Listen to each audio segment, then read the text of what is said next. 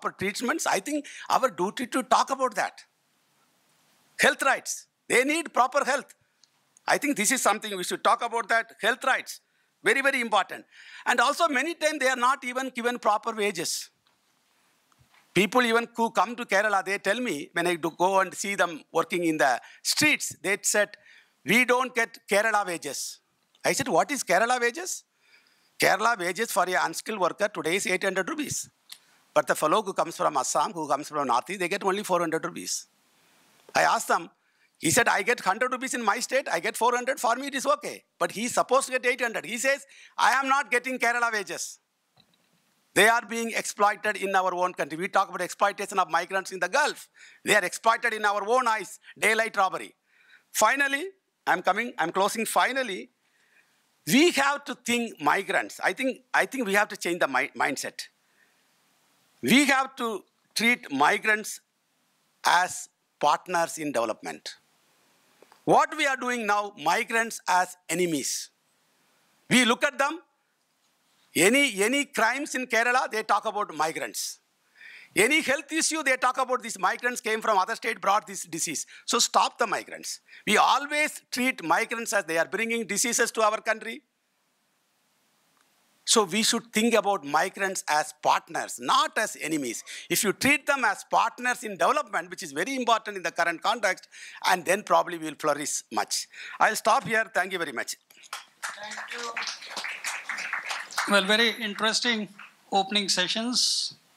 Professor Irudaya Rajan, true to his experience and expertise, has covered a wide range, and I think we can go on debating and discussing several of these issues for the full week, not even for the next 20 minutes. Just one or two things. Uh, you did mention about the migration definition, etc. Obviously, all these definitions have a reference period, and that's why obviously there would be a big debate about how do we define migrants, lifetime migrants, police migrants, so, on and so forth. But anyway, I'm pretty sure the discussions and the House will take uh, note of these things and, and will definitely have chance to discuss and debate. May I request the other distinguished panelists, Dr. Chandrasekhar. Uh, thank you very much for the invitation to be here. Uh, generally, I speak on anything that data can actually answer. And today I'm kind of going out of my comfort zone and going to talk about language policy, about what I've been reading for the last six to nine months. And uh, we have bickered on our language policy, we have compromised, and we are muddled through. Uh, we are muddled through, and I'm going to talk a little bit about it. Uh, so when I first got this invitation to talk here, I was not sure what I was going to talk about because I know Professor Bhagat is there, Professor Irudaya Rajan is there, Professor Ravi Srivastava is there, and almost everything is going to get covered. But I'm going to take a stand on few things because for the last at least six, seven years, I've thought about the issue of worker mobility. First, I think we are too fixated on migration, we have completely ignored commuting. And I'm willing to come back and talk about it in the question answer session. This is not to say that migration is not important, but I'm saying Instead of building a bullet train, can we basically talk about improving ease of commuting between rural urban? Okay, that's a stand I'm going to take. I can come back and discuss it. Second is like any conversation on migration has to be at a, you got to discuss the scale. It could be national, state, district, city, or hyper local. What do I mean by hyper local? You're talking about schools, school development plans, school management committees. That would be the last slide where I come and say, what do I mean by hyper local? And that's where I think the whole action is. I, for one, used to believe that India needs a national level migration policy, but now I'm more realistic and say, can we have migrant sensitive language in the programs and migrant inclusive programs? What do I mean by it? The first draft of the National Food Security Act talked about portability of PDS. The final draft didn't have it. The only act which actually cares about portability is your Right to Education Act, on which I'll briefly talk about. There's an interesting paper that was written by Pinaki from NIPFP who basically said that state finance commissions do nothing. They either give the money by population weights or you don't know how they give it. So we talked about architecture. I am not sure that the center state finance, the central finance commission can do it, the 15 finance commission. I think the onus is, ought to be on the states. Two things. Uh, we, have talked about uh, seasonal migration. A little known trivia is that the first time we talked about 100 days employment was in the third five-year plan. Third five-year plan, we talked about 100 days, we still continue with it. On the issue of streams, I know that Professor Amitabh Kundu talks about exclusionary urbanization, but I seriously think this needs to be integrated a little bit more because with the, I was looking at the data on uh, what's happening in terms of urban migration into cities. I find that 50% come into the city part of the urban agglomeration, 14% go to the rest of the city part of the rest of the urban agglomeration, 11% go to standalone cities, and 25% goes to cities for whom census doesn't release the data. So we really need better data to actually uh, look at this. I've told you about the NFSA and RTE, housing and labor. I don't want to get into domicile. uh, People have mentioned about it. And what I'm going to talk about is the language policy, official language, and cost borne by migration. And by the way, people have written about migration and commuting for over two. People have theorized conceptual frameworks starting from Von Thünen to Ravenstein to Harald Doma and the whole works. But what we economists have done is, chalo, let's look at what data is available, we'll look at it. But that's not what I'm going to do. So this is what I'm going to talk about. I'm going to give you a very selective overview of language policy. Uh, when Professor Irudaya Rajan talks about I go to Kerala and I don't know what to, can I talk? So it's lousy data that the census releases, but still it tells you a story. Uh, I'll talk about medium of instruction and I'll talk about costs borne by children. And this is something that started as a, conversation with my PhD student Leena Bhattacharya, and then we started doing this, okay? Okay, so Hindustani was a language. I found a grammar book from 1800s which talks about the grammar of the language Hindustani. Mahatma Gandhi was very sure that Hindustani was going to become the national language. The Motilal Nehru report 1928 also said the same thing. Mahatma Gandhi's famous statement is it easy to teach 30 million people Hindi or Hindustani, or should I be teaching the rest of India? English. To which Anna Durai said, if that was your criteria, make rat your national animal and crow your national bird. Okay? So, oh, by the way, my mother asked what I was going to talk on. I said uh, language policy. And my mother said, for once, you're talking sense. and I'll tell you why. Uh, there's a reason I got interested in this. My father's generation, my grandfather, everybody went to this Dakshin Bharati Hindi Prachar Sabha. To this day, my father confuses Ded Rupiah and Dhai Rupiah, but he claims he understands Hindi. He survives. He lives in Calcutta, he speaks Hindi, Bengali, he survives. But he owes it completely to Mahatma Gandhi. Uh, my grandfather was greatly influenced by Rajagopalachari and Radhakrishnan, and that's the reason I think my parents think that it makes sense for me to at least research language. Uh, so a lot of people in the South actually learned Hindi because of this. Okay, where do I stand on the language policy? I think everybody should learn Hindi. I speak four languages. My daughter speaks four languages. Language was never an issue in my family. Deep South in Mannargudi, my parents, my grandfather, everybody learned Hindi. So for me, this is really a non-issue, and I'm going to go out on the limb. It's really uh, not a north-south divide. By the way, little known fact. Uh, uh, Gandhi also started something called the Hindustani Prachar Sabha in 1942. And I remember my grandfather telling me, you know, Gandhiji just sold Rajaji down the river. Uh, 1938, he was basically in charge of the Congress presidency. He imposed Tamil Nadu, the in, Hindi in Tamil Nadu, the entire state went up in flames. Thank God, World War happened, the British intervened, they withdrew Hindi. So it's any chief minister of Tamil Nadu who's come and spoken about Hindi has lost the election. Okay, so uh, there was something called the Munshi Iyengar formula when the Constituent Assembly debates happened, and that's why we have Hindi and English as the official language and we don't have. And I found this particular thing very interesting. By the way, the Constitution says that you can only speak in English in the Supreme Court of India. And this was something I found in the newspaper. Chief Justice of India, this is November 2018. You're a judge and you can't speak in English. The additional district judge says, I can't speak in English. The Chief Justice says, you may hold your court in Hindi, write your judgments in Hindi, but once you come to the Supreme Court, you must speak in English. Now, there was a Law Commission report December 2008 on whether we can actually introduce Hindi as a compulsory language in Supreme Court of India, and they said no. Now, this was again the Munshi Iyengar formula. This is the only piece of trivia I have for you. Uh, most of us don't pay attention to a currency note. The Munshi Iyengar formula said, put your numerals in the English, the Western, uh, this thing. You have the 15 languages in the back of the note. Those are those languages. So what's different than the recent currency notes? Anybody can tell me? No, 15 languages are there. What happened was, if you bother to look at your currency note, ye Hindi mein, which was not there earlier.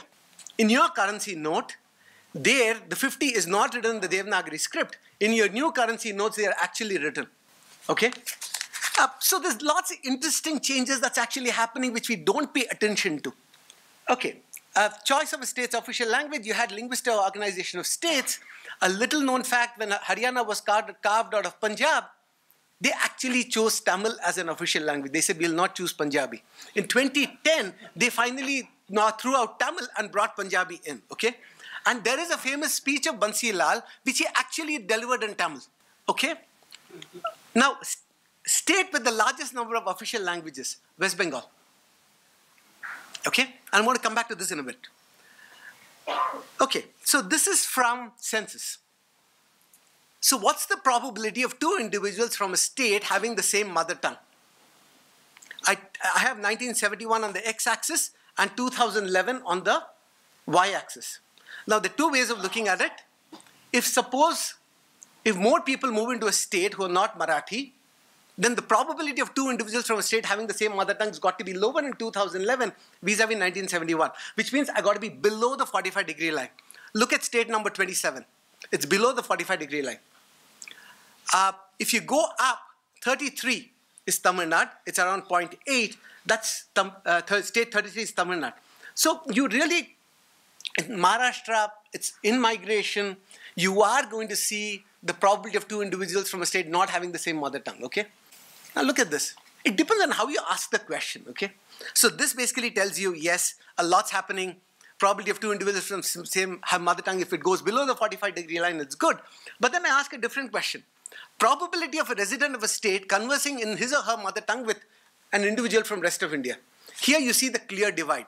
On the northeast corner, you will see Bihar, Madhya Pradesh, Rajasthan, Uttar Pradesh, and the whole works, Delhi, and all the other states on the southwest corner. Okay, so West Bengal, uh, I mean, I know Mamata Banerjee gets credit for nothing, uh, but she actually uh, said, you know, if I have a sub-district unit, where 10% of the people don't speak Bengali, whatever be the dominant language there, I should make all forms accessible to them in that language. I think in a day and era when, when it's very easy to use translation software, it should be possible to make all documents, everything. And this is the same problem with BOCW or any other stuff. I go to Kerala, they'll give it to you in Malayalam. I go to Maharashtra, I'll get it in Marathi, Bengali. So so West Bengal is one state where I said that, look, uh, can I basically access forms and documents in multiple languages? By the way, there was a case in terms of his knowledge of Marathi, a prerequisite for driving an auto. This happened in Maharashtra. And the High Court said no. Oh, sorry, sorry, Mita. Yeah. Do you know what the High Court said? The High Court said you cannot, uh, I didn't do anything this. Okay, the Bombay High Court said you cannot make Mara- knowledge of Marathi a prerequisite for running for driving an auto or a taxi because the Motor Vehicles Act does not require you to do it. So if, if you want to impose this, go ahead, amend the Motor Vehicles Act, then you can make Marathi a prerequisite for this. I'm going to talk, uh, quickly tell you about this what this whole assumption of domicile equal to proficiency in local language. Recently, Karnataka said 75, I don't know from where they got this statistic, 75% of the accidents in the shop floor happen because people don't know how to talk to each other.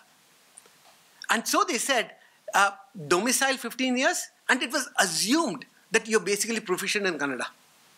So this assumption that domicile equals proficiency in the language when you read whatever the rhetoric is and what's the stuff. Okay, so all of us know about the three language formula, 1968, and uh, this is the excerpts from an answer to a parliamentary question. Uh, three language formula was in the south they will learn English, the state's language, and one of and Hindi. In the others, it would be they'll be one of the learning one of the languages from the south. And they said 3F, 3LF was not implemented effectively all over the country. Only some states accepted the three language formula in principle, while others made adjustments, and some changed it to an extent that it became impossible to implement it. By the way, part of three language formula, German, Spanish, French, everything was allowed. I mean, I would do anything not to teach my kids Hindi. Seemed to be the logic. Okay? Okay. So even if you read the new education, uh, sorry, the National Education Policy 2019, I mean, they just write in one sentence, three language formula hoga, sabko, sab sab bhasha bolenge. So first of all, census tells you 12% of the population was bilingual in 71, that's gone up to 25%. And, uh, oh, I'm sorry, I, I, should have used a better shade. Uh, the first one is 2001 and the second bar, light bar, is 2011. You really don't see much change. You should not also see too much change in terms of by age group, the proportion of people who are actually bilingual. Okay, so if you look at the age group 15 to 29 years, 37 37% of them are actually bilingual. Now, I use the tables on bilingualism from census. And what they say, so what is this thing saying? What is the probability of two individuals from the same state being able to con converse? So I'm not putting any mother tongue criteria to it. And what do you exactly find? Maharashtra 27 is below. Uh, you find uh, 33 further up closer to the 45 degree line. So you basically see that the probability of two individuals from same state being able to converse is lying below the 45 degree line. And um, what's the probability of an individual from a state conversing with an individual from rest of India? That has moved up the 45 degree line. So if I pick up somebody from Maharashtra, what's the probability he or she will be able to talk to somebody else drawn at random from outside Maharashtra? Compared to 1971, probability of having a conversation has actually gone up. Okay? Uh, why am I telling you this? Because this, sorry, go ahead. It, I think on the language, uh, if you, okay, can you hold that question till the end? Yeah. Okay. Now, this is my favorite slide, which talks about who knows best, uh, politicians or parents. Now, I was there in West Bengal 83, I was all of 11 years old, when they basically said, I'm not going to teach English in the government schools. And I remember people actually taking black paints and painting out everything that was there in black. Okay? And then finally this was reversed in 2005. I was unaffected by it because I went to a Jesuit school. I didn't go to a government school. Now, if you, I mean, I mean, I could give you uh, at least like 250 instances about how different states have basically flip-flopped on a whole bunch of things. Now, Andhra Pradesh 2019 says English medium in all government schools. Uttar Pradesh started with 5,000 English medium schools and now they're saying additional 5,000 English schools will become English medium. Karnataka, there's been a flip-flop on English medium schools and some people have basically said, you know what, if we actually have English medium schools, people will forget Kannada. I don't know where that logic actually comes from. Okay, here's my slide on RT. Uh, so the question is, okay, the, con the constitution says teach them in the mother tongue. The RTE says teach them in the mother tongue. The state government comes and says teach in the official language of that state. That's got to be the medium of instruction. Uh, so what languages do will migrant children actually learn in? And the, I like RTE because if you read sections 4, 5, 9 and 12 of the RTE Act, if you read and interpret it correctly together, it matters. It ensures that migrant children are not left behind. It's the only act which does a decent enough job. Uh, now, you really got to think through about how you're going to implement this RT in the context of migrant children, and I will talk about Maharashtra and Orissa in my last slide. Okay, uh, this pretty much uh, Dilbert is one of my favorite famous uh, favorite comic strips. Basically, so the earliest slide he's actually sleeping. He says, "What do you think you're doing?" He said, "I was brainstorming, and what idea did you come up with?" And that's pretty much been a summary of the official policy of the different states when it comes to medium education. Okay, uh, so Tamil Nadu will never give up, okay? So they will say, Hindi nahi seekhne So viewed as a non-conformer, but uh, the objective of ensuring the children learn Tamil and English did not fructify. There was a 2006 act which made it mandatory to teach English and Tamil in schools. They said no to Navodaya schools because you had to teach Hindi. Uh, and that particular photo I found, it says, uh, uh, Tinikada, Tinikada, Hindi, Tinikada, which means don't shove Hindi down my throats. Now, look, the only thing that economists have been worried about is uh, choice of government or private schools and returns to English language education. And we've forgotten everything else. That's, that's also because there is actually no data. People have looked at the West Bengal experiment, one round before NSS, one round after NSS, which cohort was exposed to it, and what exactly happened. Okay, so why do I call this as fighting against the tide? I mean, this is, bear with me, this is another 45 degree graph. Uh, 2007 and 2014, what do you find? The probability, the percentage of 6 to 14 years of children in the age group 6 to 14 years attending English medium school actually went up in every single state.